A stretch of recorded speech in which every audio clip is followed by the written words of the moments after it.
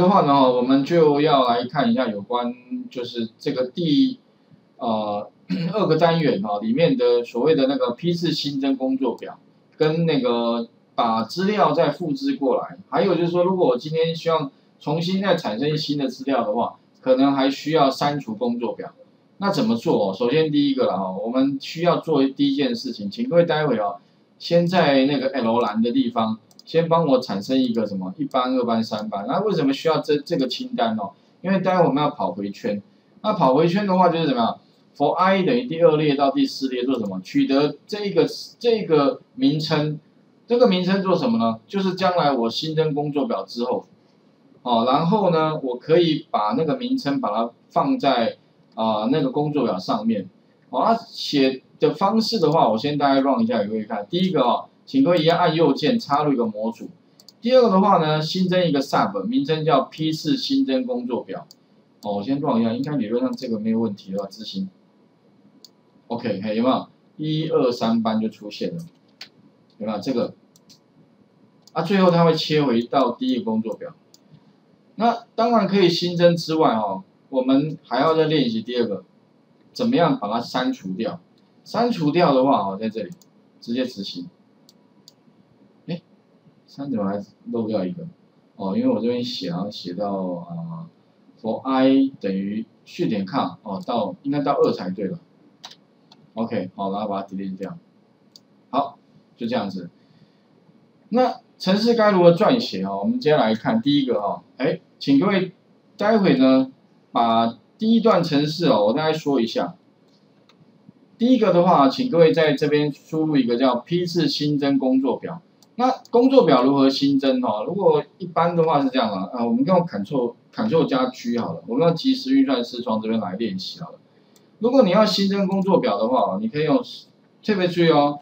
接下来请各位要学会一个物件叫 Shift 加 S，Shift 哈，它点下去之后的话呢，如果你要新增工作表的话，那你可以怎么样？加一个 Add。Add 的话，意思是说你要新增工作表，有点像哈，你这边有一个叫新，按下这个按钮，那后面的话它会出现几个讯息，哎，请问一下，你要新增到工作表是在前面呢，还是在后面？OK，啊，一般的话我们通常会新增工作表应该是放后面比较多啦，不过如果你想要放在前面的话也可以哦，OK，也就是新增，不过我们是希望放在这个序子一的后面，所以特别注意后面你可以打一个 after。哦，冒号等于，冒号等于就是你要针对这一个部分去传递啊。after 是一个参数名称，等于什么呢？就是在哪一个的后面？哎，我要在那个第一个工作表后面，所以你可以打一个哪一个工作表啊？序词一样，刮胡哪一个工作表呢？你可以用 index 一好了，第一个工作表后面。OK，好，那这个时候的话呢，我们就产生了一个。啊，新增工作表在第一个的序，这个这个这个这个城市了。那这个时候把按 Enter 好了，OK，你会发现哦，这个时候的话呢，你执行这一行，有没有发现？这个时候哈，就会自动帮你新增一个工作表。不过特别注意哦，这个工作表名称哈，它现在啊不是我们要的，我希望它名称也许叫什么？叫做一般好了，OK，哎，那如果叫一般的话，那接下来我要怎么写？哎，这一行完成了哦。那再来的话呢，哎，目前这个工作表，哎，所以它基本上新增之后，它就跳到最前面了。那你这个时候的话呢，就目前的这个工作表，所以啊，我希望把它重新命名。哦，那重新命名的话呢，我们可以哦，利用那个序词的名点念就可以了。所以再来的话呢，我后面可以针对这个这个。啊，工作表，那我怎么知道这个工作表是第几个啦？所以这个地方有几个方法，我可以用序词，当然你可以讲序词二，哦，序词二的名称点面等于什么呢？也许你这边可以把它点一般哈，这边我输入一般，OK 哈，啊，假如说这个第二个工作表的名称叫一般，所以你 Enter 一下，有没有发现这边？名称改为一般了，啊，不过特别注意哦，如果我今天希望怎么样连续动作的话，这个时候的话哈，你就必须要写一个回圈的。所以回圈的方式的话，我们来看一下，基本上哈，诶，我写成什么？for i 等于第二列到第四列啊，做什么呢？我把这先删掉一下。意思就是说哦，我将来会需要抓这个 L 栏的名称，所以 for i 等于第二到第四，做什么呢？接下来的话一样哦，做那个刚刚那个新增工作表，所以我这边的话后面加一个 sheet 点 add，然后 after 特别注意哦，后面我刚刚是 sheet 一，我本来是用 sheet 一嘛哈，但是我现在把它改成什么 sheet 点 com，那这个还蛮好用的，为什么加 sheet 点 com 哦？其实意思就是说，目前工作表的数量是几个？有没有？所以如果用序点看啊，目前一个嘛，所以呢，这个地方序点看就一。那如果将来呢又多增加一个，那就变成二。意思说，我永远加在总数的工作表后面。意思说啊，我一直都帮我加到后面去的意思啦。OK 啊，所以这一行的意思是一直都帮我加在后面。那新增的这一个序点看哦，哎，新增了之后的话，那如果我本来一个续增加了一个之后的话，这个时候序点看哈，就会变成多一个了哦，所以特别注意哦，这个序数啊，这边的序点看哦，假如以现在状态的话，它是一哦，可是如果你 add 之后的话，下面这个序点看会变多少？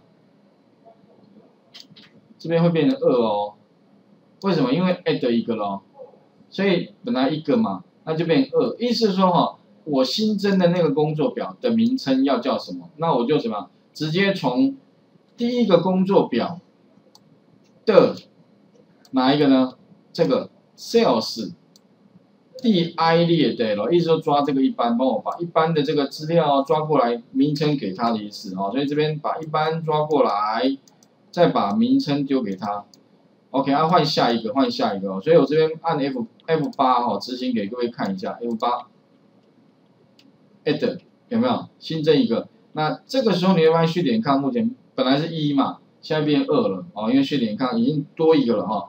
然后名称变成什么？去帮我抓那个 sales 的 I 列栏。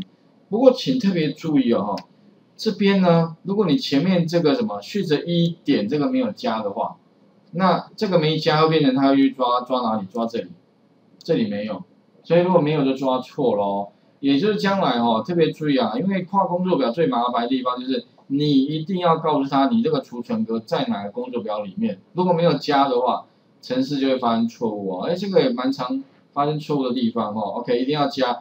所以呢，跟他讲说哦，我这个是在第一个工作表的这边哦，你不要去你自己那边抓哈。OK，那。去帮我抓过来，所以 F 八有没有发现这边就变成一般的？OK 哈，那以此类推了啊，再来就二班，好，所以 F 八再来下一个，然后意思再帮我放在第二个的后面，然后这个时候去点抗就变三，就多一个了哈，啊，把第三个那个名称呢改成叫 U 二班，然后换下一个，然后再三班，啊，最后的话呢已经跑完了，那习惯上哦。最好把游标再移到第一个，为什么？因为如果你停在这边的话，感觉怪怪的，一般都会希望回去。所以最后我又多加一行，叫 sheets 一点 select，好，把它哎切回去。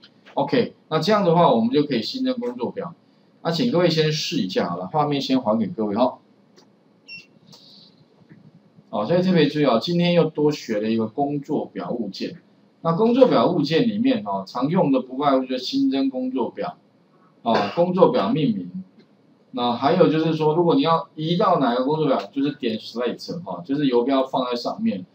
啊，待会我们再来看哦，啊，如果可以新增，那有没有办法删除？哦，当然可以了，怎么删？试一下哦。